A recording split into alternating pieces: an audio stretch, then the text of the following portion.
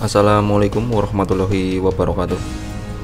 Oke sobat teknik pendingin Kali ini kita akan berbagi tutorial Bagaimana cara buka otomatis jet cleaner H dan L Terutama untuk jet cleaner H dan L model seperti ini. Karena permasalahan yang sering terjadi pada jet cleaner Kebanyakan otomatis tidak berfungsi jadi otomatis piston tidak bisa menyalakan saklar on off nya ini mengakibatkan jet cleaner tidak mau menyala ataupun sebaliknya. Ini biasanya kerusakan pada otomatis pistonnya. Pergerakan tidak lancar ataupun macet.